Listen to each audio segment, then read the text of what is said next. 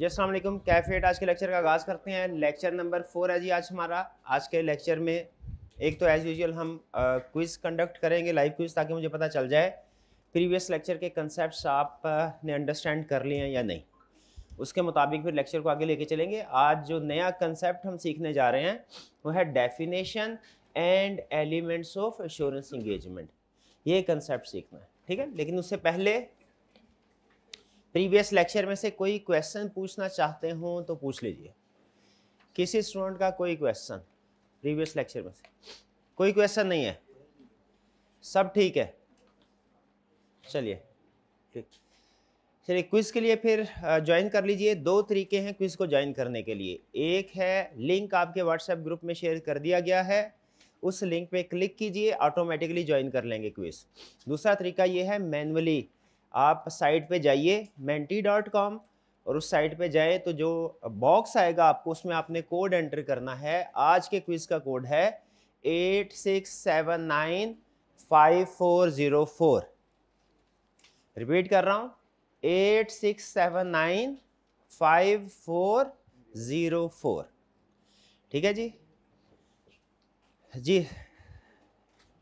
अच्छा ये आज हमारा लेक्चर फोर है, लेकिन क्विज चूँकि प्रीवियस लेक्चर का है तो इसीलिए quiz on lecture number three लिखा है। यानी लेक्चर नंबर फोर में जो लेक्चर नंबर थ्री के कंसेप्ट डिस्कस हुए हैं, उनका क्विज हो रहा है। ठीक है, इसका मतलब ये है। आगे चलते हैं जी हाउ टू प्ले ये आपको पता ही है। कल शेयर कर दिया था ना हमने? पहले आपके सामने क्वेश्चन डिस्प्ले होगा पाँच सेकंड के लिए। आपने उसको पढ़ना है, फिर उसके बाद ऑप्शंस आएँगी और आपको कुछ सेकंड्स दिए जाएँगे। 15 से लेके 30 सेकंड्स तक का टाइम होगा। उसमें आपने करेक्ट ऑप्शन को क्लिक करना है और आपको पता है जो आपको मार्क्स क्रेडिट होते हैं वो दो चीज़ों के। नंबर वन करेक्ट आंसर और नंबर टू क्विक आंसर ठीक है जी? जी तो स्टार्ट करते हैं। हमारा पहला क्वेश्चन ये रहा।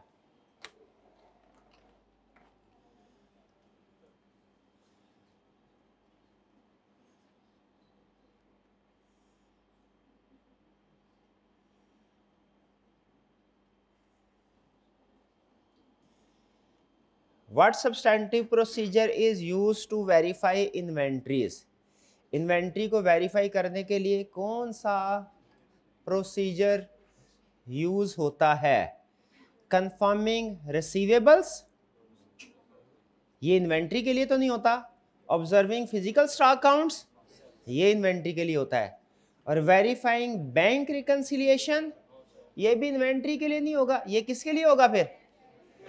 कैश एंड बैंक के लिए बैंक बैलेंस के लिए। और रिव्यूइंग डेप्रिसिएशन शेड्यूल जो डेप्रिसिएशन की कैलकुलेशन है, ये भी नॉन करंट एसेट्स के लिए क्लियर जी? तो हमारा जो रेलिवेंट प्रोसीजर है, वो कौन सा होगा? ऑब्जर्विंग फ़िज़िकल काउंट चलिए जी। अच्छी परफॉर्मेंस रही इसमें। क्वेश्चन टू ये रहा आपके सामने, आपके मोबाइल की स्क्रीन पे।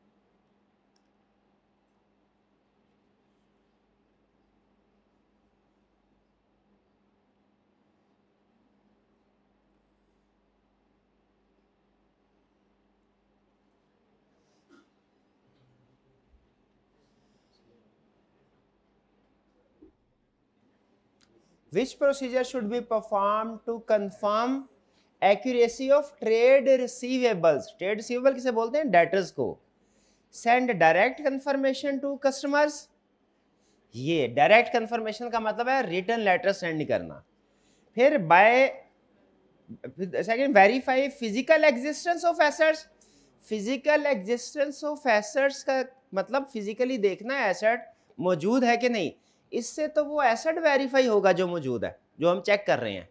उससे डेटर्स तो वेरीफाई नहीं होंगे ना। हमारा जो प्रोसीजर है वेरीफाई करने वाला, वो रेलिवेंट होना चाहिए ना। जिस एरिया को वेरीफाई कर रहे हैं, उस एरिया से रेलिवेंट प्रोसीजर वो ये है। ये प्रोसीजर ऑडिटर परफॉर्म ज़रूर करता है, लेकिन इसको वेरीफाई करने के लिए नहीं, वो एसेट को वेरीफाई करने के लिए। फिर नेक्स्ट है रिकनसाइल कैश बैलेंस ये तो कैश को वेरीफाई करने के लिए प्रोसीजर परफॉर्म करेगा। जबकि उसने क्या पूछा है कि ट्रेड रिसीवेबल को वेरीफाई करने के लिए बताओ। फिर रिव्यू सप्लायर्स इनवाइसेस सप्लायर्स कौन से, कौन होते हैं? क्रेडिटर डेटर नहीं। अगर यहाँ पे रिव्यू कस्टमर इनवाइसेस बोलता ना या रिव्यू डेटर वो ठीक होता। क्योंकि वो डेटर्स के लिए है। ठीक है? एक चीज़ को वेरीफाई करने के लिए एक से ज़्यादा प्रोसीजर हो सकते हैं। तो यहाँ पे रेलिवेंट प्रोसीजर कौन सा हुआ? डायरेक्ट कन्फर्म या डायरेक्ट कन्फर्मेशन पता है किसको बोलते हैं?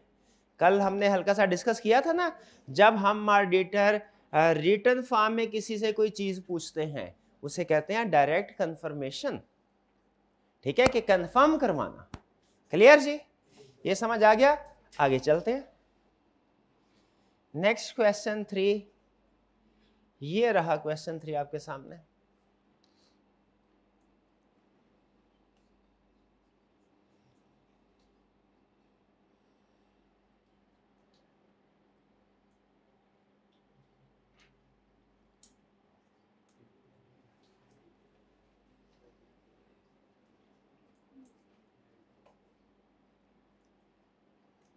To verify the existence of bank balances, what substantive procedure is most suitable? यानी कौन सा प्रोसीजर सब्सटेंटिव का मतलब प्रोसीजर ही है। ठीक है? कौन सा प्रोसीजर मोस्ट सुटेबल होगा? बैंक बैलेंस के लिए। एक मिनट ठहरे analyse okay no problem no problem analyse revenue recognition policy नहीं नहीं.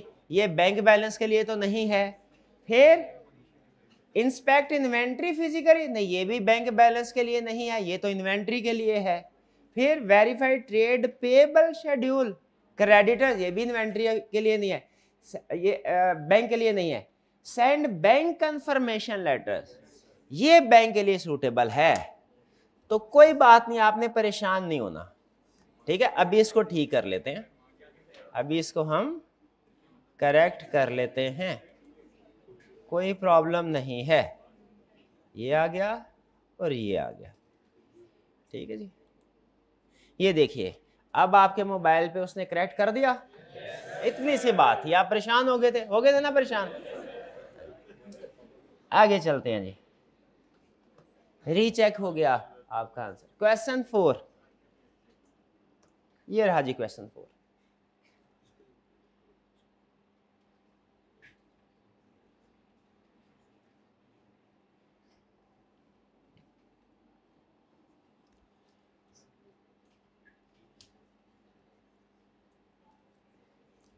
which procedure best verifies the value of non-current asset like plant and machinery?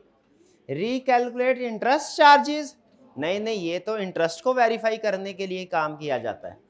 Confirm balance with third parties नहीं नहीं, ये तो डेटर्स या क्रेडिटर्स या bank को verify करने के लिए किया जाता है procedure inspect asset purchase invoices हाँ ये जो एसेट जितने में खरीदा है, उसकी इन्वाइस चेक करेंगे तो उससे कंफर्म होगा कि जितनी अमाउंट कैपिटलाइज की गई है, वो सही है कि नहीं।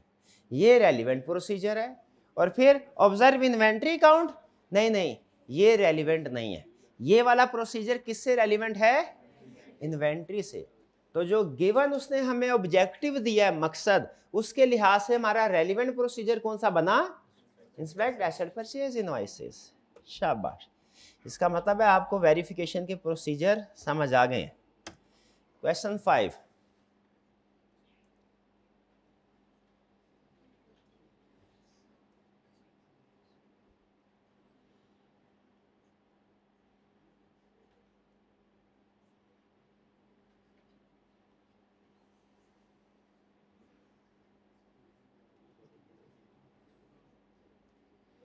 what is the best substantive procedure for verifying prepayment prepayment की कोई एक एग्ज़ाम्पल ले आए।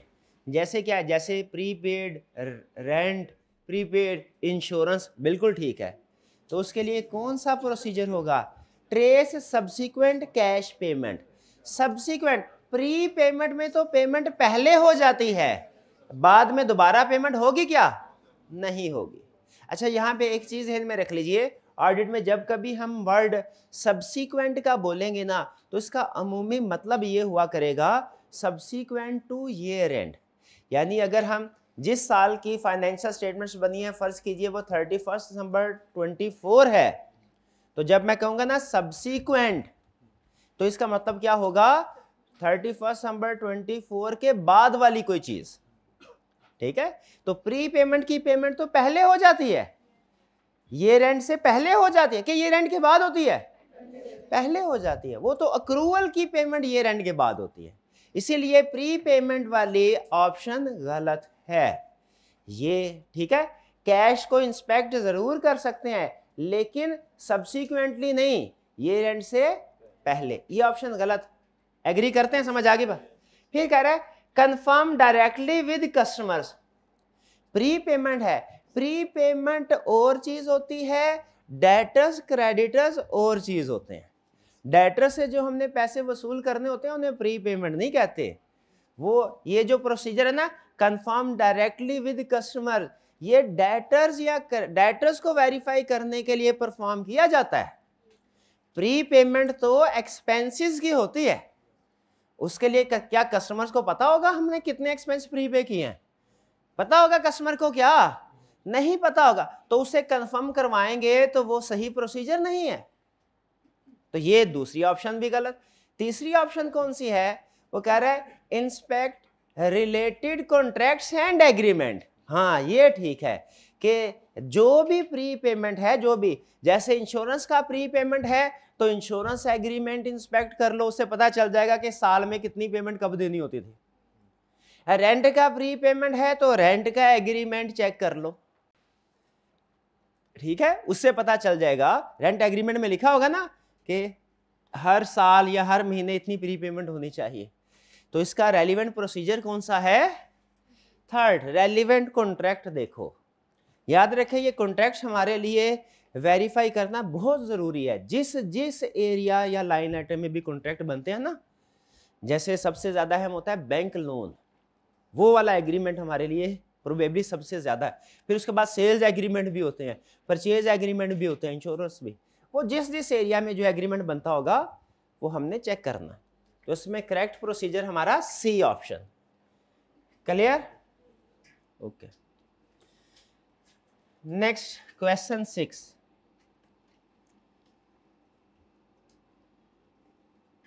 अच्छा ये मुझे बताइएगा कैमरा में ऑप्शन नीचे पड़ी जा रही है? वो सही डिस्प्ले हो रही है ना कैमरा में ऑनलाइन वाले स्टूडेंट्स के लिए फ़ोन साइज़ छोटा है okay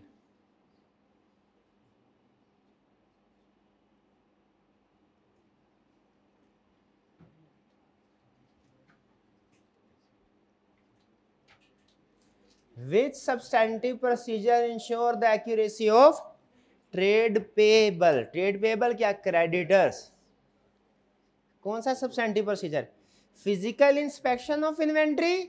नहीं नहीं, ये तो इन्वेंट्री को वेरीफाई करने के लिए रेलिवेंट है। कंफर्म बैलेंस विद सप्लायर्स हाँ ये ठीक है सप्लायर्स के साथ। फिर review internal payroll records internal payroll records payables के लिए तो रेलिवेंट नहीं है। सैलरीज के लिए रेलिवेंट है। फिर verify cash receipts cash receipts भी ट्रेड पेबल्स के लिए नहीं है। वो तो कैश पेमेंट होता, फिर ट्रेड पेबल के लिए रेलिवेंट होता। ट्रेड पेबल को हम कैश पे करते हैं कि कैश रिसीव करते हैं? पेबल। ट्रेड पेबल के लिए कैश रिसीट्स नहीं, कैश पेमेंट चेक करते हैं। तो करेक्ट ऑप्शन हमारी क्या हुई? कंफर्म बैलेंस विद सप्लाई इसका मतलब क्या है कंफर्म बैलेंस रिटर्न फॉर्म में हमने अपने पेबल्स को लेटर लिखा और उनसे पूछा, आपके मुताबिक क्या यही बैलेंस है? इसे कहते हैं कंफर्म करना या डायरेक्ट कंफर्मेशन आगे चलते हैं जी। नेक्स्ट क्वेश्चन सेवन ये रहा question seven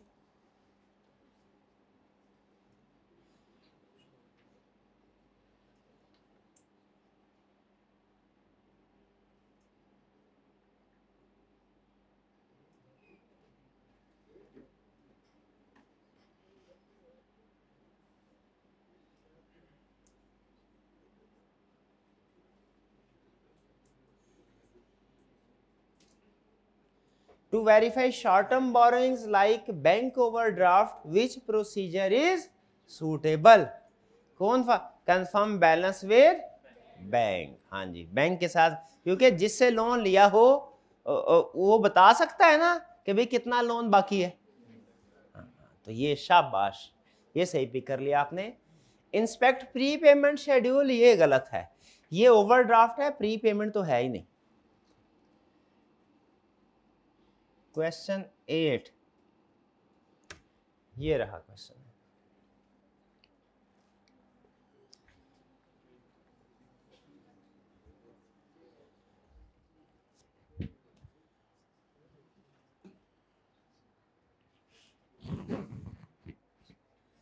जब ये क्विज चल रहा हो ना तो आपने कैमरा को थोड़ा सा जूम कर लेना है कि मैं चाहे ना आ रहा हूँ उसमें लेकिन वो ऑप्शन आ रहे ठीक है।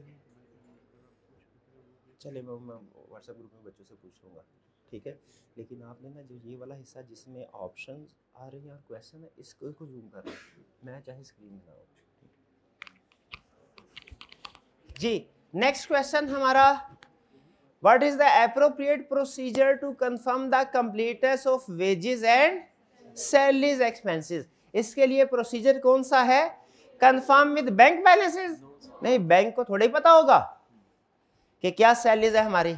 रिकैलकुलेट पेरोल फिगर्स हाँ ये पेरोल फिगर रिकैलकुलेट करना, यानी जो पेरोल शीट बनी होगी जिसमें सारे एम्प्लॉइज की सैलरी कैलकुलेट होती है, उससे पता चल जाएगा। ये रेलिवेंट प्रोसीजर है। अच्छा तो फिर दूसरे क्यों गलत है? इंस्पेक्ट एसेट पर परचेज इनवाइसेस ये क्यों गलत है? क्योंकि ये एसेट को वेरीफाई करते हुए रेलिवेंट होगा पेरोल सैलरीज एक्सपेंस को वेरीफाई करने के लिए रेलिवेंट नहीं है। फिर next procedure verify inventory count results ये क्यों गलत? ये तो इन्वेंट्री के लिए होगा सैलरीज एक्सपेंस के लिए थोड़ा ही होगा।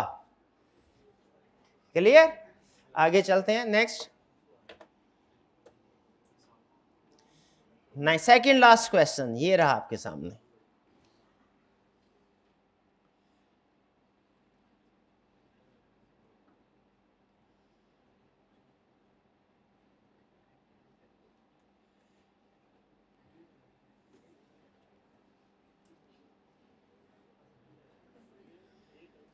Which substantive procedure verifies the rental income recorded in the financial statements?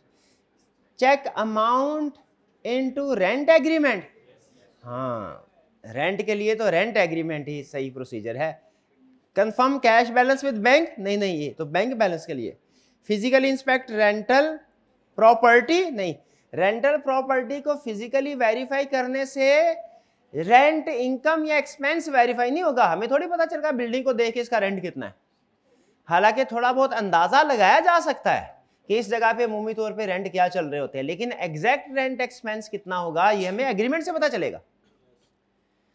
Recalculate depreciation ये तो डेप्रिसिएशन या एसेट्स को वेरीफाई करने के लिए तो रेलिवेंट है। रेंटल इनकम के लिए नहीं रेंटल इनकम के लिए एग्रीमेंट ही रेलिवेंट प्रोसीजर है। लास्ट क्वेश्चन ये रहा आपके सामने।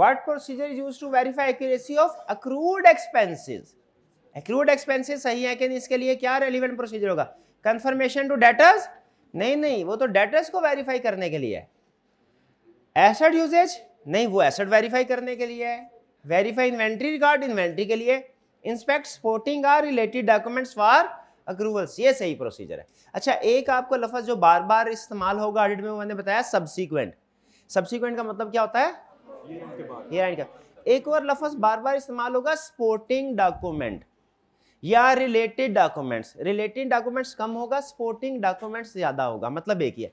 इसका मतलब ये है कि किसी भी एरिया में जो, हर एरिया में अलग अलग डॉक्यूमेंट बनती है ना। परचेज में परचेज इनवाइसेस हैं सेल्स में सेल इनवाइसेस है रेंट में रेंट एग्रीमेंट है। तो जब हमने इनको जनरली स्पेसिफिकली आंसर लिखना हो ना स्पेसिफिक एग्ज़ाम्पल के साथ तो फिर हम ऐसे purchase invoice sale invoice rent agreement ये स्पेसिफिक वर्ड बोलते हैं, इस्तेमाल करते हैं, जब आंसर स्पेसिफिक करना हो।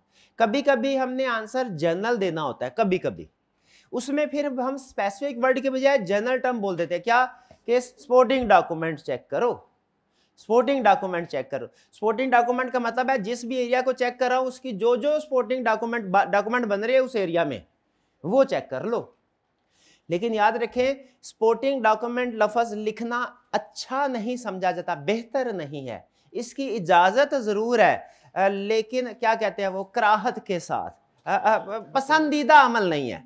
स्पोर्टिंग मकरू स्पोर्टिंग डॉक्यूमेंट के बजाय, क्योंकि देखिए स्पोर्टिंग डॉक्यूमेंट से सही पता नहीं ना चलेगा कि कौन सा डॉक्यूमेंट तो आप बाजुकात होता है एग्ज़ाम में आपको फ़ौरन जहन में नहीं आता। यार ये पेरोल सैलरीज एक्सपेंस में कौन सी डॉक्यूमेंट बनती थी जिसपे सारी सैलरी कैलकुलेट होती थी? उसे कहते हैं पेरोल शीट या सैलरी शीट अगर जहन में आ जाए तो सवाल करते हुए पेरोल शीट का लफज लिखना है। लेकिन अगर जहन में ना आए तो फिर जनरल जेनेरिक वो क्या? इंस्पेक्ट स्पोर्टिंग डॉक्यूमेंट आधे नंबर फिर भी दे देगा। ठीक है? लेकिन कोशिश करनी है हमने, हमें यह पता हो कि एरिया में क्या स्पोर्टिंग डॉक्यूमेंट प्रिपेयर होती है। कुछ कुछ तो मुझे खुशी हुई थी वैसे तो मैंने सिखाना है लेकिन मुझे खुशी हुई काउंटिंग में आप ये सीख के आए हैं कुछ कि सेल में सेल इन्वाइसेस होती हैं और, शायद गुड डिस्पैच नोट भी पढ़ा हुआ आपने ये ले आधा तो पढ़ा है ऑडिटा और इसी तरह परचेज में परचेज इन्वाइसेस होती हैं और गुड सीड नोट ये बेहतरीन हो गया बेहतरीन। चलिए चले अब आते हैं हम अपनी क्लास के टॉपर्स की तरफ़। जी भैया प्राइज लेके आए टी भाई? ये हैं जी हमारी क्लास के टॉपर्स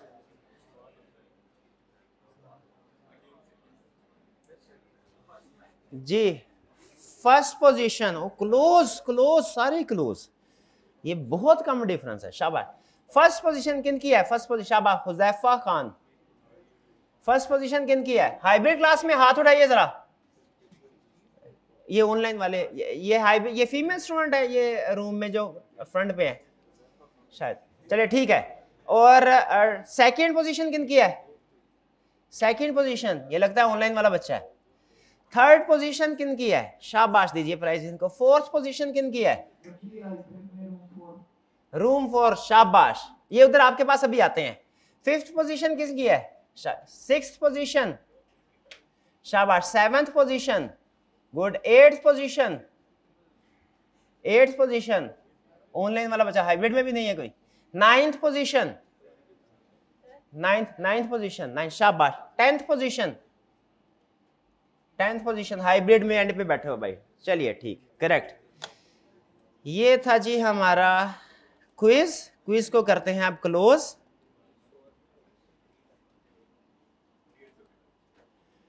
और अब आते हैं होम असाइनमेंट की तरफ़। कल हमने होम असाइनमेंट में एक क्वेश्चन कर लिया था रिप्रोडक्शन का। दूसरा क्वेश्चन नहीं किया था, दूसरा क्वेश्चन अब करने जा रहे हैं।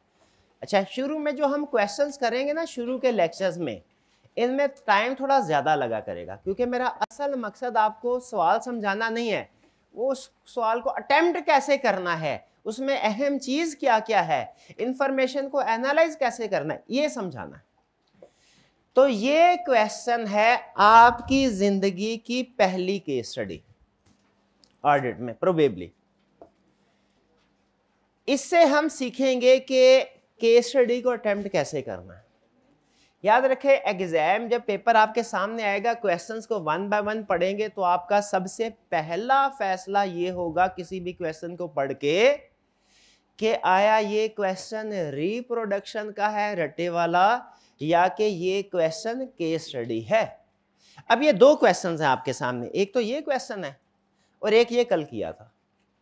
क्वेश्चन वन क्वेश्चन टू आप बता सकते हैं कि इनमें रिप्रोडक्शन रटे वाला क्वेश्चन कौन सा है?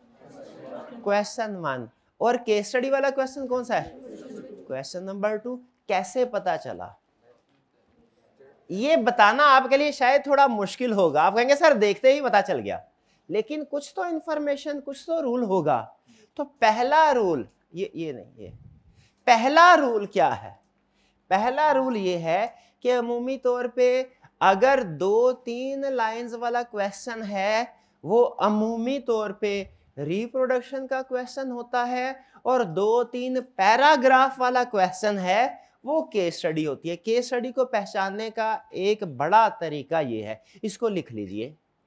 कि कैसे पहचाने, रटे वाला सवाल है या केस स्टडी दो तीन लाइंस हैं तो प्रोबेबली रिप्रोडक्शन रटे वाला सवाल, दो तीन पैराग्राफ हैं तो मतलब केस स्टडी तो ये तो हमें दो तीन पैराग्राफ लग रहे ये ये दो तीन लाइंस हैं रिप्रोडक्शन ये दो तीन पैराग्राफ यानी लेंथी क्वेश्चन ठीक है जी, ये केस स्टडी है। रिप्रोडक्शन में याद रखिएगा आपने जो याद किया हुआ है, उसको लिखना होता है मेमोरी की बेस पे। जो याद किया है, वो लिखना है। और उसमें स्टूडेंट सबसे बड़ी गलती क्या करते हैं कि जो याद किया होता है एज इट इज़ उसको छाप देते हैं। हालाँकि कोई एक कंसेप्ट है ना, आई कैप ने बाजुकात पूरा कंसेप्ट नहीं, उसमें से कोई दरमियान वाला हिस्सा पूछा होता है, कभी एंड वाला हिस्सा पूछा होता है, कभी शुरू वाला हिस्सा पूछा होता है, कभी सिर्फ़ हेडिंग पूछी होती है, ठीक है? लेकिन स्टूडेंट ने क्या किया होता है, जैसा याद किया होता है ना जेन में छपा होता है, किताब में लिखा होता है एज इट इज़ छाप देते हैं। इवन रिप्रोडक्शन के क्वेश्चन में आपने अपने आप से पूछना है है तो मेमोरी बेस्ड लिखना तो मैंने जो जो याद किया है, वही लिखना है। लेकिन उसमें से क्या लिखना है, क्या कंप्लीट या पार्ट ऑफ़ द कंसेप्ट ये डिसाइड कर लीजिएगा। इसमें अक्सर स्टूडेंट समझते हैं कि बस जो उस कंसेप्ट से रिलेटेड क्वेश्चन आ गया, सारा कंसेप्ट छाप दो। हालाँकि उसने उस कंसेप्ट में सिर्फ़ हो सकता है पार्शल उसने कंसेप्ट पूछा हो। ये इवन रिप्रोडक्शन में भी बच्चे गलती कर जाते हैं। केस स्टडी आया तो क्या करना है? सुन ले। सबसे पहले रिक्वायरमेंट आपने पढ़नी है केस स्टडी में हमारी प्रैक्टिस होगी कि पहले रिक्वायरमेंट पढ़ेंगे, उसके बाद क्वेश्चन पढ़ना शुरू करेंगे। ठीक है? अब ये अच्छा बाज़ात एग्ज़ाम्पल कुछ ऐसी जेन में आ जाती है एग्ज़ाम्पल तो कंसेप्ट तो क्लियर कर देती है, लेकिन समटाइम अप्रोप्रिएट एग्ज़ाम्पल उसको नहीं कह सकते। कोई अच्छी मिसाल नहीं है। लेकिन चूँकि हमारा अल्टीमेट ऑब्जेक्टिव कंसेप्ट समझाना होता है तो कभी कभी हम इस तरह की एग्ज़ाम्पल क्लास में शेयर कर देते। तो इसी तरह की एक एग्ज़ाम्पल है, जो मैं इसको अप्रोप्रिएट तो नहीं समझता, लेकिन जो कंसेप्ट समझाना चाह रहा हूँ, उससे रेलिवेंट है। जब मैं छोटा था, कोई आपकी उम्र का, बल्कि इससे भी शायद कम उम्र का तो टीवी देख रहा था। टीवी में कुछ क्विज होते थे। वो क्विज सवाल पूछते थे और जवाब देने पे इनाम मिलता था। अब उस कुछ क्विज कंपटीशन अच्छे होते हैं, कुछ अच्छे नहीं होते। वो कोई इतना अच्छा क्विज कंपटीशन नहीं था। उसमें जीबो गरीब सवाल पूछते थे। एक पार्टिसिपेंट से कहा, आपको हम एक क्लिप दिखाएँगे। आपने इस क्लिप को गौर से देखना है और उसके एंड पे एक सवाल का जवाब देना है, पूछा जाएगा। ठीक है? वो क्लिप था, वो किसी गाने का। वो उन्होंने गाना दिखाया और गाने के अल्फाज सुनाए उसको। वो सुनते रहे कोई तीस, पैंतीस, चालीस सेकंड का। उसमें एक लफज बार बार इस्तेमाल हो रहा था। कुछ गानों में होता है ना, इसे रिपीट करते हैं।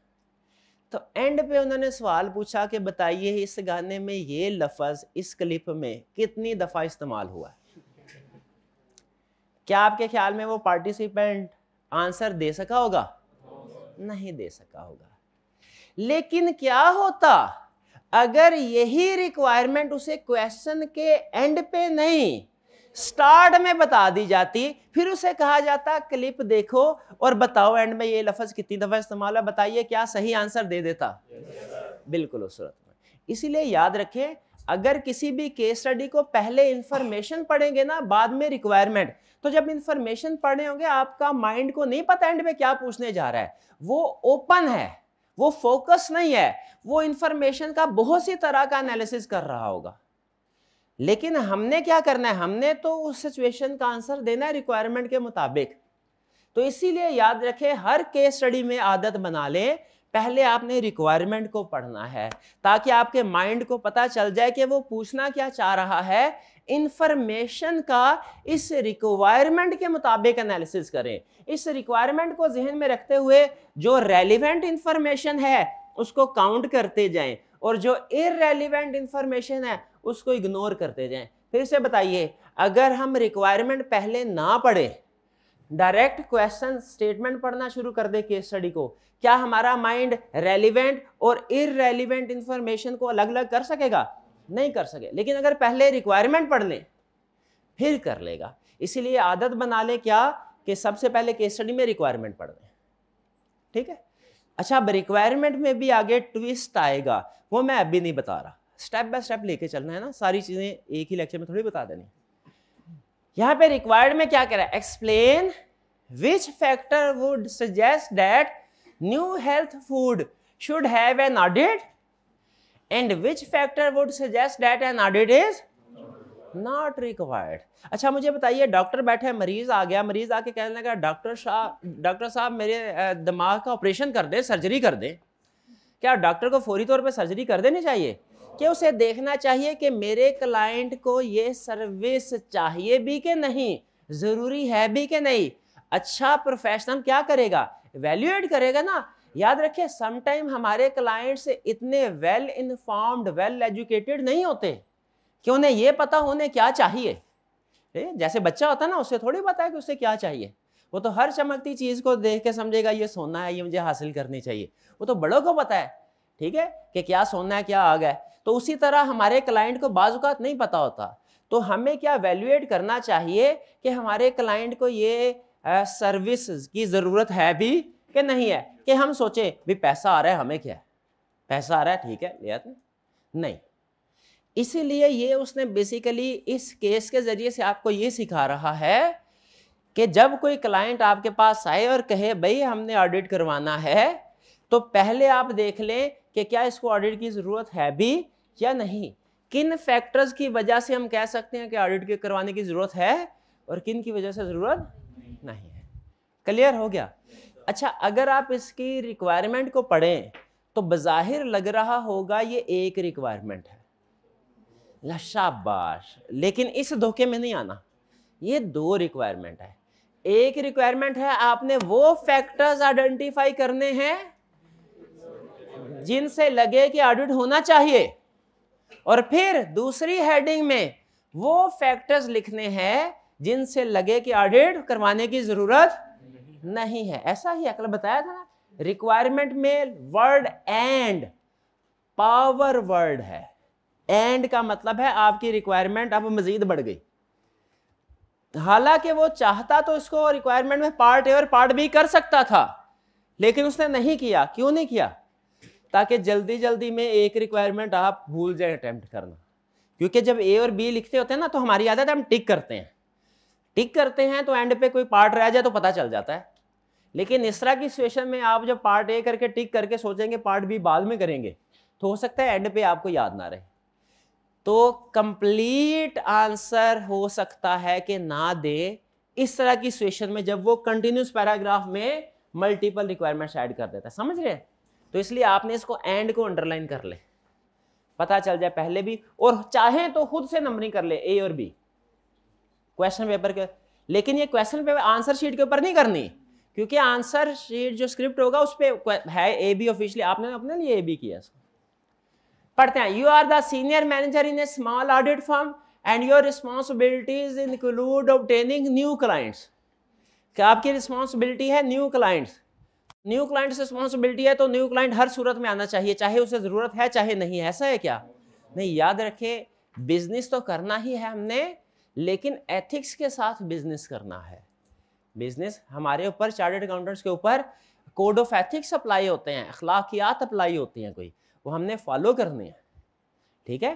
तो अखलाकियात का तकाजा ये है कि हमारे क्लाइंट को जिस चीज़ की ज़रूरत है उसे बताएँ और जिसकी ज़रूरत नहीं है वो भी बताएँ।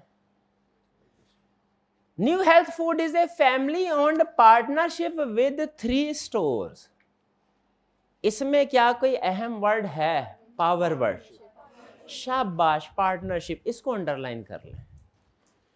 कैसे पा इस अच्छा ये किस कैटेगरी में आएगा?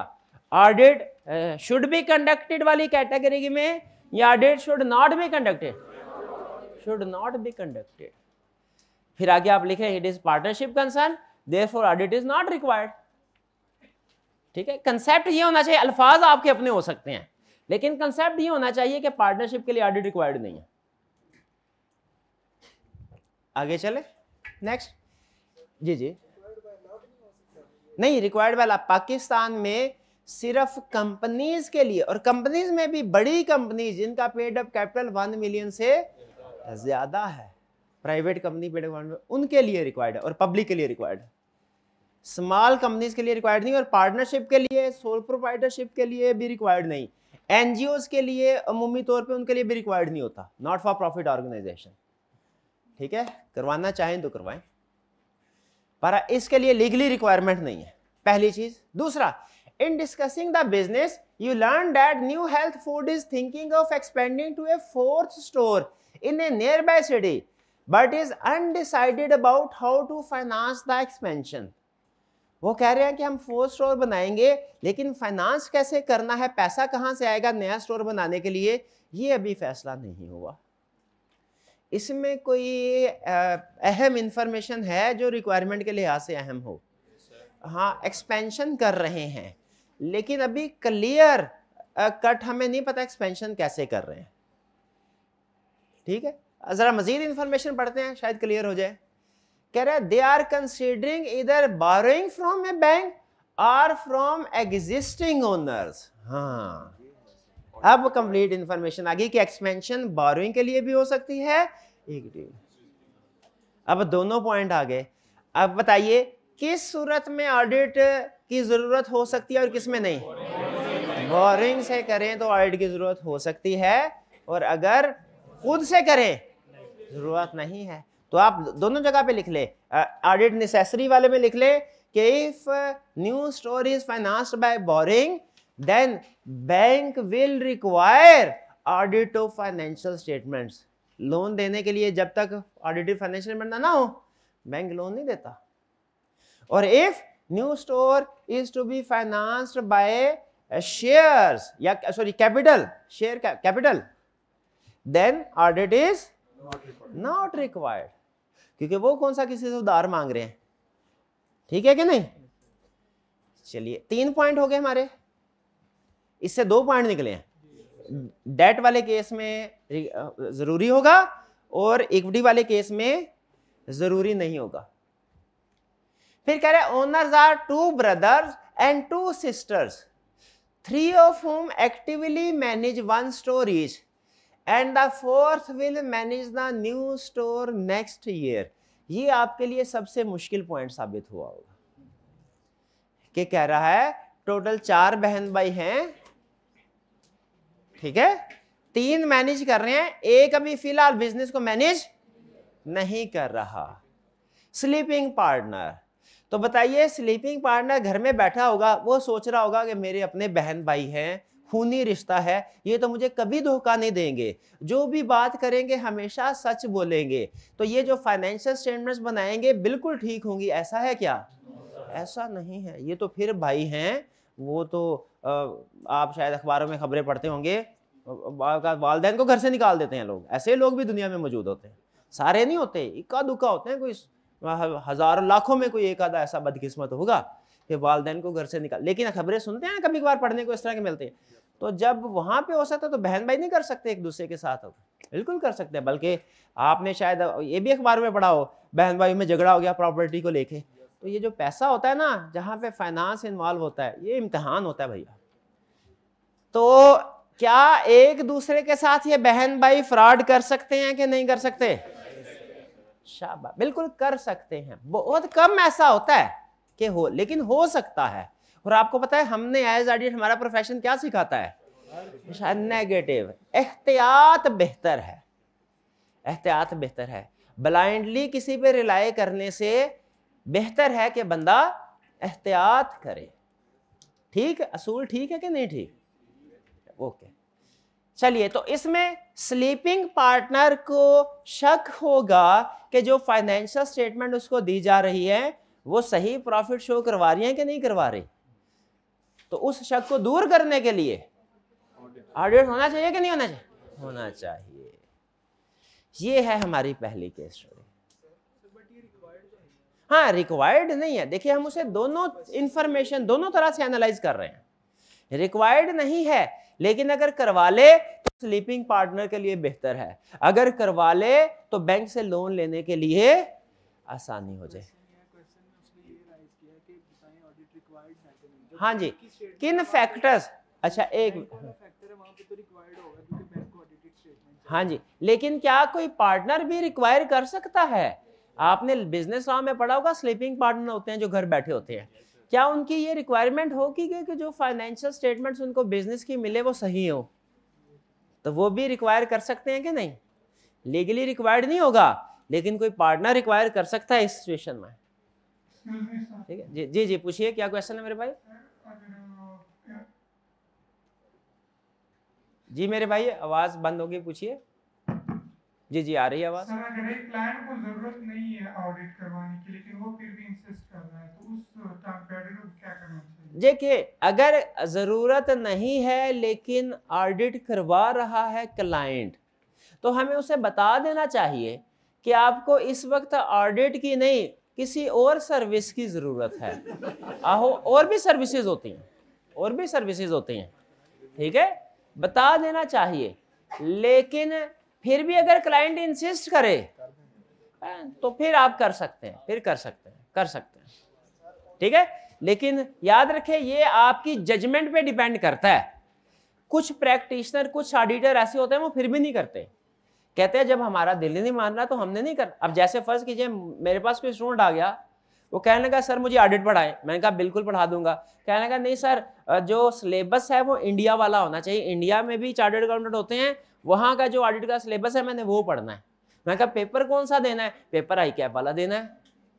अब क्या मुझे कह देना चाहिए? ठीक है भाई, तुम्हारी मर्ज़ी। मुझे तो फ़ीस से गर्जा मैं पढ़ा देता हूँ। क्या मुझे पढ़ा देना चाहिए? पहले मैं क्या कहूँगा? पहले मैं अपने क्लाइंट को बताऊँगा, भाई, ये अप्रोप्रिएट सर्विस नहीं है। आपको चाहिए आई कैप का पेपर देना है आई कैप के सिलेबस के मुताबिक तैयारी करें। लेकिन अगर वो कहें, नहीं नहीं नहीं, मैंने तो उसी के मुताबिक पढ़ना है। तो फिर यहाँ पे आपकी जजमेंट है। कुछ एक्सेप्ट कर लेते हैं इसको, लेकिन वो जो एंगेजमेंट लेटर होता है ना, जो एग्रीमेंट होता है, उसमें लिख देते हैं कि भाई, हमने वान कर दिया था, फिर भी ये कह रहा है कि मुझे पढ़ा दे। और कुछ कहते हैं, नहीं, हमारा ज़मीर नहीं मानता। ये गलत प्रैक्टिस वो बहरहाल आपकी जजमेंट है। लेकिन क्लाइंट को बताना ज़रूरी होता है। कि आपका ये डिमांड जो है ये करंट हालात में अप्रोप्रिएट नहीं। अच्छा आप सुने केस स्टडी कर लिया आपने? सबसे अहम असूल केस स्टडी अटेम्प्ट करने का बता रहा हूँ। पहला मैंने आपको असूल ये बताया कि एग्ज़ाम में पहचानेंगे कैसे कि ये रिप्रोडक्शन का क्वेश्चन है कि केस स्टडी का। हाँ पैराग्राफ की लेंथ से पता चल जाता है, और भी इंफॉर्मेशन होती है। उसमें मुमी करेक्टर्स आते हैं केस स्टडी में मुमी करेक्टर्स आते हैं, नाम आते हैं। और रिप्रोडक्शन के क्वेश्चन में अमूमी तौर पे, अमूमी तौर पे बोल रहा हूँ करेक्टर्स नहीं होते। जैसे इसमें करेक्टर्स है ना टू ब्रदर टू सिस्टर्स ठीक है? और पिछले वाले क्वेश्चन में करेक्टर कोई नहीं था। तो करेक्टर के आ जाने से भी हमें अंदाज़ा लेंथ ऑफ़ द केस से और करेक्टर से। अच्छा आप असूल सुन लें।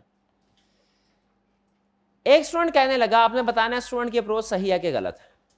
कहने लगा, सर, ये कह रहा है, बताइए कौन से फैक्टर्स हैं जो ये कहने ऑडिट होना चाहिए। और कौन से फैक्टर जो कहते हैं ऑडिट नहीं होना चाहिए? तो जब हम लिखे ना किन फैक्टर्स की वजह से कि ऑडिट होना चाहिए, हमें जितने भी एडवांटेजेस पड़े हैं, सारे के सारे इसमें फिट कर देते हैं। भाई वो सारे एडवांटेजेस ही हैं ना। और वो सारे एडवांटेजेस हमें बताते हैं कि ऑडिट होना चाहिए। क्या वो जितने भी हमने एडवांटेजेस पढ़े हैं, वो सारे के सारे यहाँ पे factor which suggest that health food should have an audit इसमें लिख देने चाहिए कि नहीं? कितने स्टूडेंट्स का ख्याल है? सारे लिख देने चाहिए। सारे एडवांटेज लिख दे। शाबाश। हाथ उठाइए, जरा पता चले। कितनों का ख्याल है? नहीं लिखने चाहिए। शाबा नहीं, सारे नहीं लिखने चाहिए। जवाब ठीक है आपका। रीजन क्या है? इसमें केस स्टडी का असूल है कि आपने क्वेश्चन केस स्टडी की गिवन इंफॉर्मेशन से बाहर नहीं जाना। ये असूल लिख दें। लिख ले। केस स्टडी को अटैम्प्ट करने का असूल। अटैम्प्ट करने का असूल। गिवन इंफॉर्मेशन से बाहर नहीं जाना। यानी क्वेश्चन में उसने जिस जिस एडवांटेज का ज़िक्र किया है, वो तो आप लिखेंगे, जिसका ज़िक्र नहीं किया, वो आपने सोल्यूशन में नहीं लिखना।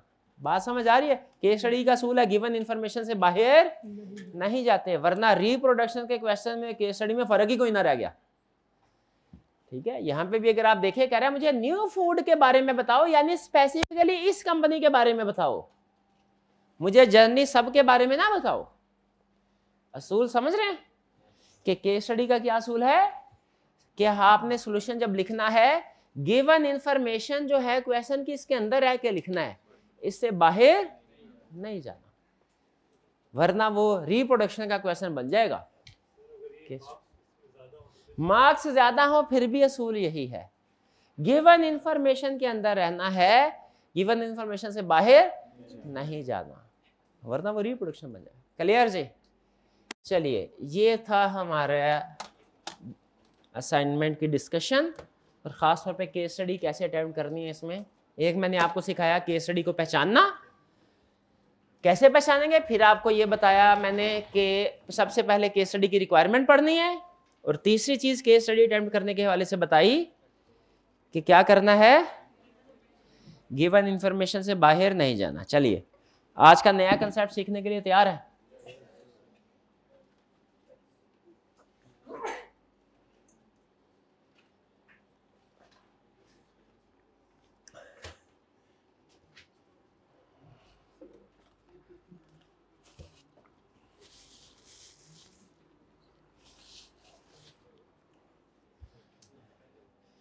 सिर्फ़ छोटा सा कंसेप्ट आज हमने स्टडी करना है, लेकिन इसकी एग्जाम्पल्स ज़्यादा डिस्कस करेंगे हम। और एंड पे प्रोसेस भी, ये मैं अपने लिए लिख रहा हूँ, आपके लिए नहीं है, मैं भूल ना जाऊँ। एग्ज़ाम्पल हमने अभी तक की केस स्टडी अभी तक की जितना भी सीखा है ऑडिट उसमें ये सीखा है, कि एक ऑडिट एंगेजमेंट में तीन पार्टीज़ होती हैं। शेयर होल्डर्स मैनेजमेंट या डायरेक्टर भी क्या लेने?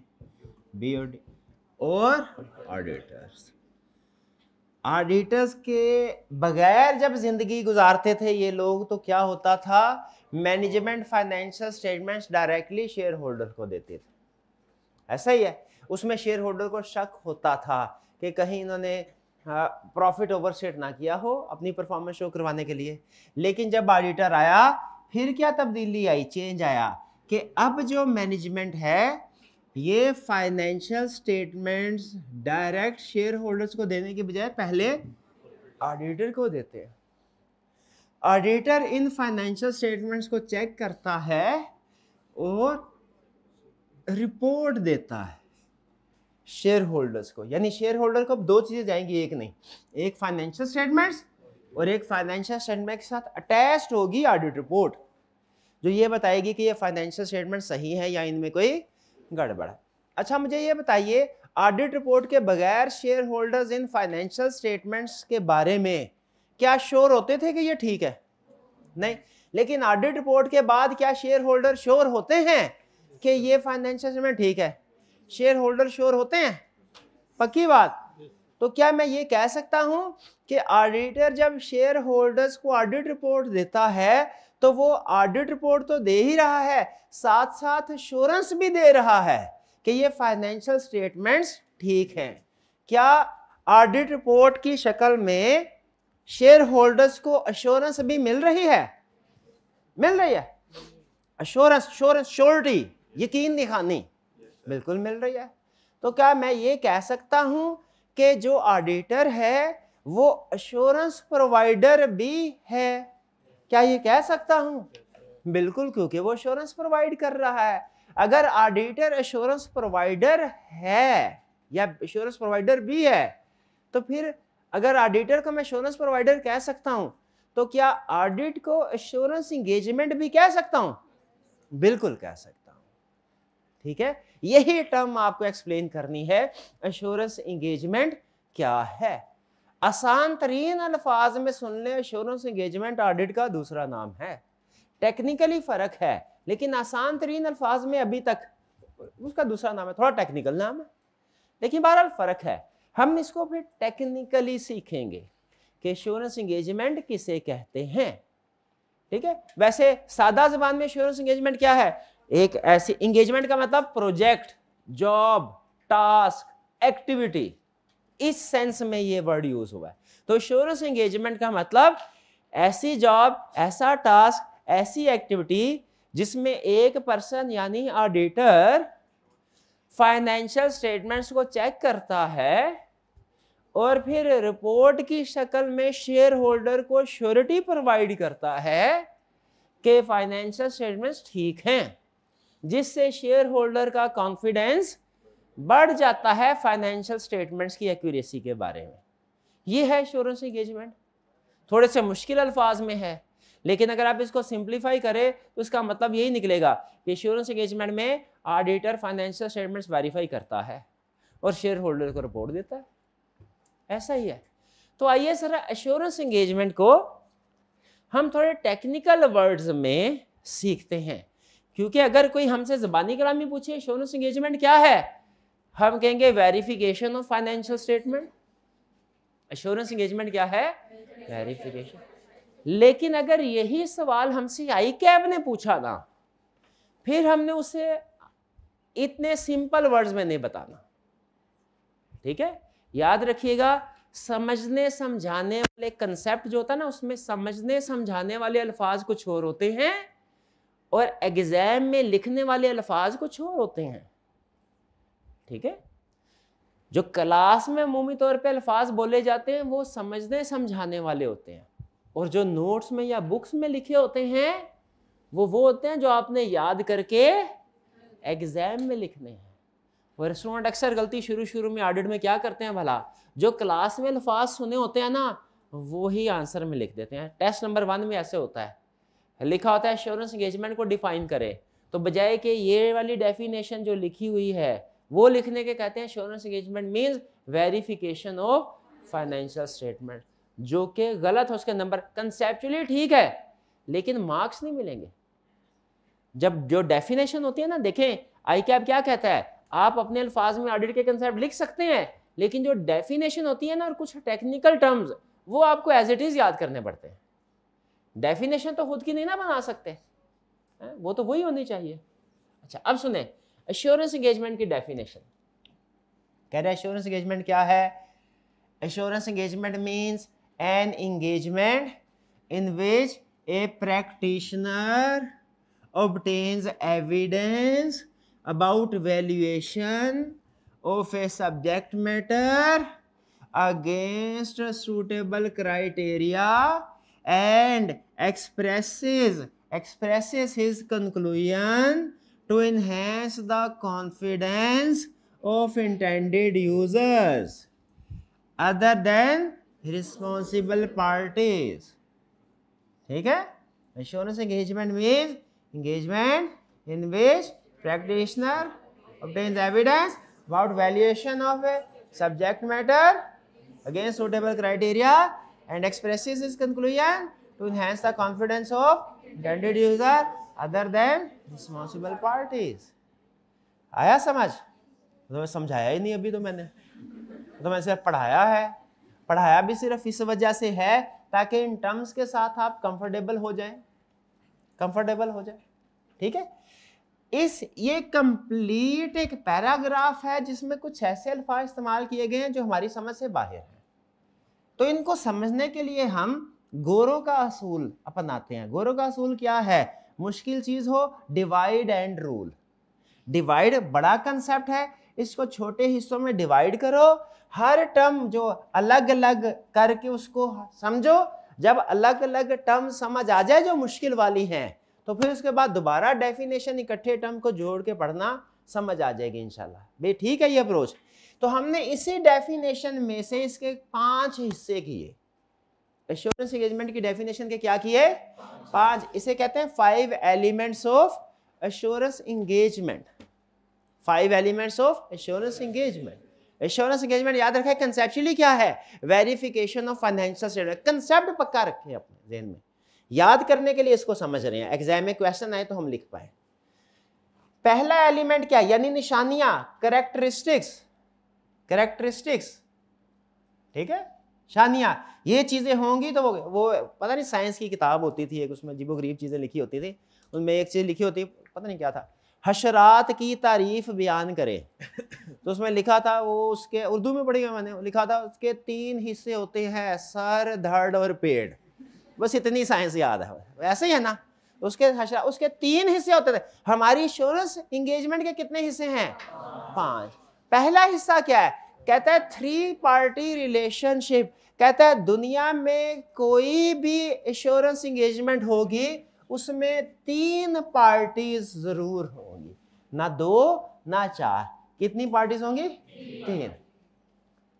कौन कौन सी तीन पार्टीज़ शेयर होल्डर मैनेजमेंट हाँ इसको थोड़ा टेक्निकल वर्ड्स में बोलते हैं। शेयर होल्डर यानी यूज़र्स इंटेंडेड यूज़र्स मैनेजमेंट यानी रिस्पॉन्सिबल पार्टी रिस्पॉन्सिबल पार्टी और ऑडिटर यानी प्रैक्टिशनर अच्छा भाई ये मैनेजमेंट को रिस्पॉन्सिबल पार्टी क्यों बोलते हैं? क्योंकि वो रिस्पॉन्सिबल है टू प्रिपेयर फाइनेंशियल स्टेटमेंट अच्छा ये ओनर्स को इंटेंडेड यूज़र्स क्यों कहते हैं? क्योंकि उन्होंने फाइनेंशियल स्टेटमेंट को यूज़ करना उनके लिए बन रही है। और ये ऑडिटर को प्रैक्टिशनर जनरल वर्ड क्यों बोला? क्योंकि वो एक प्रैक्टिशनर है, वो एक प्रोफेशनल है। जैसे लॉयर्स भी प्रैक्टिशनर है प्रोफेशनल है। डॉक्टर्स भी प्रैक्टिशनर है। कभी कभी लिखा होता ना उनके नाम के साथ प्रैक्टिस तो हम हम भी तो प्रोफेशनल है प्रैक्टिशनर है।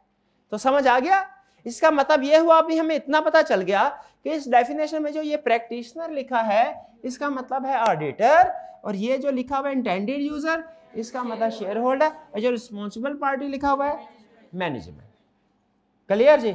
अच्छा explain with the help of example अगर हम बैंक के पास जाएँ लोन लेने के लिए कंपनी जाए सीईओ बैंक के पास लोन लेने के लिए गया बैंक ने बोला, नहीं नहीं फाइनेंशियल स्टेटमेंट्स का ऑडिट करवा के लाओ. सीईओ ने ऑडिट करवाया एक फर्म से और बैंक को फाइनेंशियल स्टेटमेंट्स और ऑडिट रिपोर्ट दे दी। इसमें बताइए थ्री पार्टी रिलेशनशिप कैसे है? इसमें रिस्पॉन्सिबल पार्टी कौन है? रिस्पॉन्सिबल पार्टी कौन है? सीईओ शाबाश।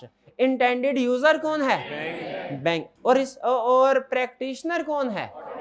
वो ऑडिटर सीएफएम क्लियर हो गया? तो हमेशा एश्योरेंस एंगेजमेंट में तीन एलिमेंट्स होंगे। अगर दो हैं तो इसका मतलब वो एश्योरेंस एंगेजमेंट नहीं है। ठीक है? टॉपिक थोड़ा कम्प्लेक्स हो जाएगा, वरना मैं आपको बताता बाज़ात कंपनीज़ ने किसी इंटरनल ऑडिटर को अपना एम्प्लॉय रख लेते हैं। किसी ऑडिटर को चार्टर्ड अकाउंटेंट को एम्प्लॉय रख लेते हैं। एम्प्लॉय रख लेते हैं, तुम चेकिंग करो। वो फिर इंटरनल ऑडिटर कहलाता है। आपने शायद किसी स्टूडेंट ने टर्म सुनी है। वो वो थ्री पार्टी नहीं होता। वो फिर तो मैनेज वो कंपनी का हिस्सा बन जाता है। तो एश्योरेंस एंगेजमेंट में कितने एलिमेंट्स होने चाहिए? तीन। तीन समझ आ गए ओके कौन कौन से? प्रैक्टिशनर रिस्पॉन्सिबल पार्टी और दूसरा a subject matter subject matter कहते हैं उस चीज़ को जिसको वेरीफाई किया जा रहा है। शाबाश फाइनेंशियल स्टेटमेंट्स को। फाइनेंशियल स्टेटमेंट्स को। जिस चीज़ को वेरीफाई किया जा रहा है। लेकिन याद रखें प्रैक्टिस में सिर्फ़ सब्जेक्ट मैटर फाइनेंशियल स्टेटमेंट नहीं, कुछ और भी हो सकता है। जैसे फाइनेंशियल स्टेटमेंट कहते हैं पास्ट वाली फाइनेंशियल स्टेटमेंट बाज़ात हम फ्यूचर की भी फाइनेंशियल स्टेटमेंट्स बनाते हैं, जिसे फाइनेंशियल स्टेटमेंट टेक्निकली नहीं कहना चाहिए। बजट। वो क्या होता है? बजट। ठीक है? उसको भी हम वेरीफाई कर सकते हैं। पास्ट यानी हिस्टोरिकल फाइनेंशियल स्टेटमेंट्स भी सब्जेक्ट सब्जेक्ट मैटर क्या है? जिसको वेरीफाई करेंगे। वो क्या है? वो पास्ट की इंफॉर्मेशन भी हो सकती है हिस्टोरिक वो फ्यूचर की फाइनेंशियल इंफॉर्मेशन भी हो सकती है, जैसे बजट और इवन वो बाजुकात नॉन फाइनेंशियल इंफॉर्मेशन भी हो सकती है. आपके सिलेबस में सब्जेक्ट मैटर हमेशा क्या होगा? फाइनेंशियल वो आपसे हमेशा पूरे सिलेबस में यही पूछेगा कि जो पिछला साल गुजर गया, उसकी फाइनेंशियल स्टेटमेंट बनी है, इसको कैसे वेरीफाई करोगे? सी लेवल पे जाएँगे, वो आपसे ये भी पूछेगा फ्यूचर की फाइनेंशियल स्टेटमेंट्स बनाई हैं आइंदा आने वाले साल की, इसको वेरीफाई करो। अब आप परेशान, ये कैसे वेरीफाई कर सकते हैं? ये तो भी हुई नहीं ट्रांजैक्शन और ये भी, चलें, छोटी एग्जांपल है। अगली एग्जांपल सुनिए नॉन फाइनेंशियल इंफॉर्मेशन को भी वेरीफाई कर सकते हैं। फ़र्ज़ कीजिए, भाईजान ने कहा, सर, मैं बहुत मेहनती स्टूडेंट हूँ। ये स्टेटमेंट दी। क्या गौर से सुने? क्या इस स्टेटमेंट को भी वेरीफाई किया जा सकता है? yes. इसका जवाब है यस हालाँकि इसमें कोई नंबर नहीं है। तो याद रखिए फाइनेंशियल इंफॉर सब्जेक्ट मैटर क्या चीज़ जिसको वो इंफॉर्मेशन जिसको वेरीफाई करना है। वो फाइनेंशियल भी हो सकती है, वो नॉन फाइनेंशियल भी हो सकती है, वो पास्ट की भी हो सकती है फ्यूचर की भी हो सकती है। लेकिन आपके सिलेबस की हद तक वो हमेशा फाइनेंशियल होगी और फाइनेंशियल में भी हमेशा पास्ट की होगी। उसे कहते हैं हिस्टोरिकल फाइनेंशियल स्टेटमेंट तो सब्जेक्ट मैटर समझ आ गया? क्या? यही तो वो चीज़ है जिसको वेरीफाई करना। ठीक है? हमारे केस में हमेशा ये फाइनेंशियल स्टेटमेंट मतलब financial statement suitable criteria criteria किसे कहते हैं? क्राइटेरिया होता है रूल्स फाइनेंशियल फ्रेमवर्क भी बोलते हैं इसको। क्राइटेरिया मतलब रूल्स या फ्रेमवर्क जिसके मुताबिक फाइनेंशियल स्टेटमेंट्स बनती हैं।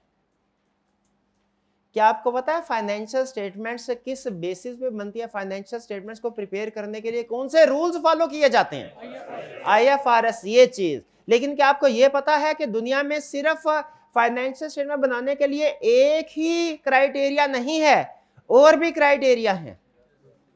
जैसे अगर आपने टैक्स पढ़ा हुआ है कैफ टू तो आपको पता होगा कि टैक्स के रूल्स के मुताबिक भी प्रॉफिट कैलकुलेट होता है। और वो रूल्स बाज का आई से डिफरेंट होते हैं। और शायद आपने पढ़ा हो कि एक और फ्रेमवर्क होता है कैश बेसिस अकाउंटिंग जिसमें कैश रिसीव्ड और कैश पेड की बेस पे इनकम एक्सपेंस रिकॉर्ड होते हैं। तो अभी तक के आपने नॉलेज की बेस पे तीन तरह के रूल्स हैं जिनमें मुताबिक फाइनेंशियल स्टेटमेंट प्रिपेयर की जा सकती हैं। एक आईएफआरएस एक टैक्स बेसिस एक कैश और भी है। यूएसए दुनिया की बड़ी इकोनॉमी है, उसमें आईएफआरएस फॉलो नहीं होते। उनका अपना फ्रेमवर्क है। उसे कहते हैं US GAAP generally accepted accounting principles ये भी है, और भी फ्रेमवर्क है। लेकिन कैफ की हद तक इतने काफ़ी है। फिर सुनने कंसेप्ट क्या है? क्राइटेरिया क्या है? क्राइटेरिया किसे कहते हैं? वो रूल्स वो रूल जिसके मुताबिक फाइनेंशियल स्टेटमेंट्स प्रिपेयर होंगी। दुनिया में क्या एक ही रूल है? नहीं, बहुत से रूल्स हैं। जैसे IFRS cash basis tax basis US GAAP अच्छा अब जब मैंने फाइनेंशियल स्टेटमेंट्स यानी सब्जेक्ट मैटर प्रिपेयर करना है, फ़र्ज़ करें मैं सीईओ हूँ। मुझे कोई क्राइटेरिया सेलेक्ट करना है? कोई एक के चारों के मुताबिक ही बना सकता हूँ? एक ही क्राइटेरिया तो मैं क्राइटेरिया कैसे सेलेक्ट करूँ? ऐसे अक्कड़ बक्कड़ बम्बे वो अस्सी नब्बे पूरा सौ। ये आ गया हमारा यूएस गैप यूएस गैप के मुताबिक फाइनेंशियल क्राइटेरिया तो है। क्या ये क्राइटेरिया सूटेबल है? no, नहीं एस मुझे एक लगाएगा। वो कहेगा भाई पाकिस्तान में बैठे हो। पाकिस्तान में क्राइटेरिया जो सूटेबल है वो आईएफआरएस है। यूएसए में जाओगे ना, फिर उधर यूएस गैप लगाना, वो उधर सूटेबल है, इधर नहीं। तो याद रखे क्राइटेरिया क्या है, ये हमें समझ आ गया? चूँकि क्राइटेरिया बहुत से हैं, इसलिए हमारी ज़िम्मेदारी है क्या? क्राइटेरिया भी हो और वो, आप पता चल गया, साथ में सूटेबल का लफज क्यों लिखा डन जी। Three party relationship okay subject matter okay suitable criteria okay example समझ आ गई इसकी?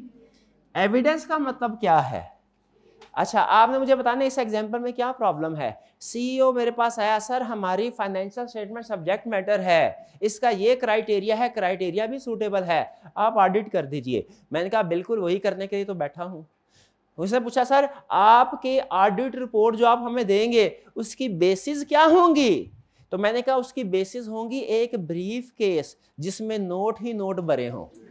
वो ब्रीफ केस मुझे दीजिए और ये रिपोर्ट साइन करके मैं आपको देता हूँ। मुझे बताइए क्या ऑडिट रिपोर्ट की ये बेसिस ठीक हैं?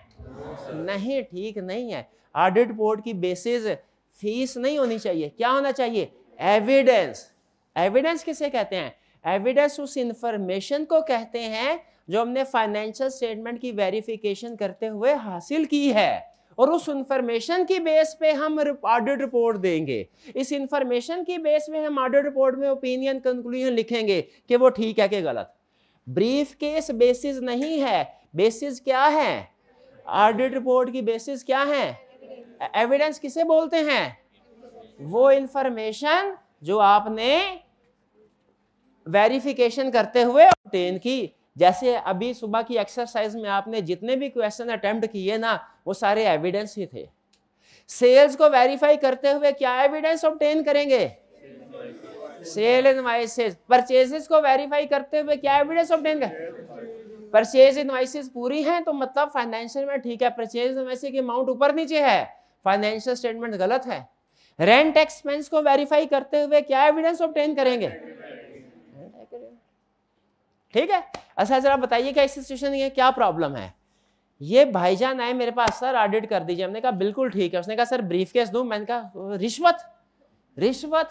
नहीं रिश्वत लेने वाला देने वाला दोनों जहनमी रिश्वत नहीं हम लेते।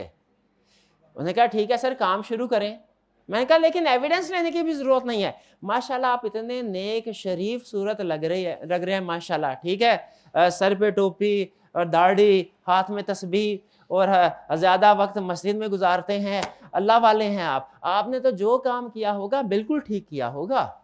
साइन कर दिया, रिपोर्ट को। क्या ठीक किया मैंने? नहीं ठीक किया। याद रखें ये सारी बातें अपनी जगह पे दुरुस्त। लेकिन हमारा प्रोफेशन क्या कहता है? कि हमने एविडेंस के बगैर फैसला नहीं करना। याद रख, क्या कभी ऐसा हुआ कि किसी जज ने किसी मुलजिम की शक्ल ही देखते हुए कह दिया, भाई, शक्ल से ही करप्ट लगता है, लगा दो उसको फांसी। नहीं कहते। वो वो फैसला किस बेस पे देते हैं? एविडेंस की बेस पे। तमाम सबूतों और गवाहों के बयानात की रोशनी में। ऐसा ही है। तो याद रखे, वो जज प्रोफेशनल है प्रैक्टिशनर है। हम भी प्रोफेशनल है प्रैक्टिशनर है। हमने भी जो फैसला देना है, किस बेस पे देना है? एविडेंस क्या है? वो इंफॉर्मेशन जो हम कलेक्ट करते हैं प्रोसीजर परफॉर्म करके। वो अगर एविडेंस हमें सारा सही मिल गया, वहाँ पे पता चल गया, सब ठीक है तो हम रिपोर्ट में कह देंगे, सब ठीक है, वरना गलत। अच्छा एक चीज़ है एविडेंस एविडेंस इकट्ठा कर दिया कि तमाम सबूत और गवाहों के बयान ये है एविडेंस है। फिर लास्ट एलिमेंट क्या है? रिटर्न एश्योरेंस रिपोर्ट कि ये हमारा फैसला है। ये एविडेंस है फैसले पे पहुँचने के लिए जो इंफॉर्मेशन इकट्ठी की। ये एविडेंस वो है। और ये रिटर्न एश्योरेंस रिपोर्ट क्या है? एक पेज जिसमें हमने लिखा होता है स्टैंडर्डाइज फॉर्मेट में कि फाइनेंशियल स्टेटमेंट्स ठीक हैं या गलत हैं।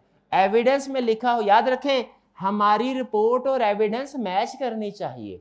अगर एविडेंस में कोई गलतियाँ नज़र आए तो हम रिपोर्ट में क्या लिखें? कि फाइनेंशियल स्टेटमेंट्स में गड़बड़ है। और अगर एविडेंस से हमें कोई गलती सामने नहीं आई तो रिपोर्ट में क्या लिखेंगे? कोई गलती नहीं। क्लियर अगर एविडेंस और रिटर्न एश्योरेंस रिपोर्ट में आपको फ़र्क समझ आ गया तो एक सवाल का जवाब बताइएगा। ये दोनों रिटर्न फॉर्म डॉक्यूमेंट्री होती है मोमित एविडेंस भी और रिपोर्ट भी। इनमें से एक चीज़ सिर्फ़ ऑडिटर के पास रह जाती है और एक चीज़ पूरी दुनिया को सर्कुलेट की जाती है। शाबाश। एविडेंस क्या होता है? सिर्फ़ ऑडिटर और रिटर्न एश्योरेंस रिपोर्ट क्या है? तो अब देखिए, अब दोबारा पढ़ते हैं डेफिनेशन को। ये सारे एलिमेंट्स क्लियर हो गए? अब क्या कह रहा है? सब assurance engagement means an engagement ऐसा काम इन विच ए प्रैक्टिशनर यानी जिसमें ऑडिटर होता है, वो ऑडिटर क्या करता है? ऑब्टेन एविडेंस वो एविडेंस ऑब्टेन करता है। किस लिए? वैल्यूएशन का मतलब वेरीफाई करना। ताकि वो वैल्यूएट करे वेरीफाई करे। क्या वेरीफाई करे? कि सब्जेक्ट मैटर यानी फाइनेंशियल स्टेटमेंट्स ठीक है? अगेंस्ट सूटेबल क्राइटेरिया वो आईएफआरएस के मुताबिक बनी है कि नहीं? ठीक है? एश्योरेंस एंगेजमेंट ऐसा काम है जिसमें ऑडिटर एविडेंस इकट्ठा करता है ताकि वेरीफाई करे कि फाइनेंशियल स्टेटमेंट्स आईएफआरएस के मुताबिक बनी है कि नहीं बनी। और फिर जो भी उसका नतीजा होगा कि फाइनेंशियल स्टेटमेंट सही बनी है या नहीं बनी वो रिपोर्ट की शक्ल में देगा। किसको देगा?